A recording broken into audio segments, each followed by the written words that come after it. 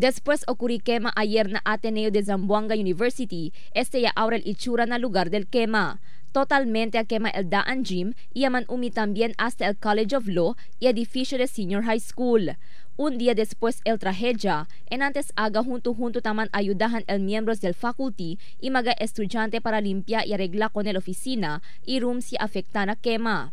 Asegun con el District Fire Marshal del BFP Fire Chief Inspector Clincha, yan cansa na más o menos 15 millones de pesos el valor de destrozo por causa na quema. Y a principio, según el quema na daan gym de la escuela, que hecho de light material, por causa na fuerza del fuego, inseguidas este mancamang hasta na otros cercanos edificio. Según Concha, actualmente ta continúa pa investiga di ila mga personajes acerca el causa del quema.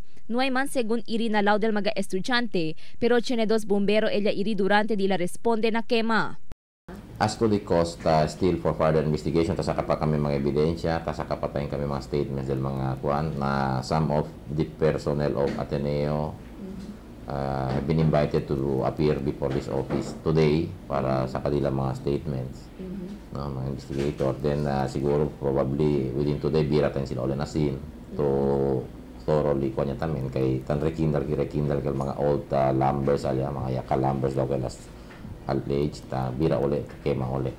Mientras tanto, fuera na continuando investigación ta conduci al mga personajes del BFP y inspección na también el Commission on Higher Education o CHET con el lugar del quema junto con el director regional del CHET Juanito Demetrio y presidente del Ateneo de Zamboanga University Father Karel San Juan, ya visita el grupo na lugar donde puede mirar el anchor del destrozo por causa na quema.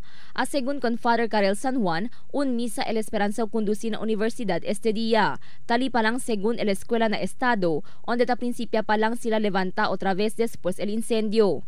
To assemble our friends, our alumni, those who are expressing their sympathies and support.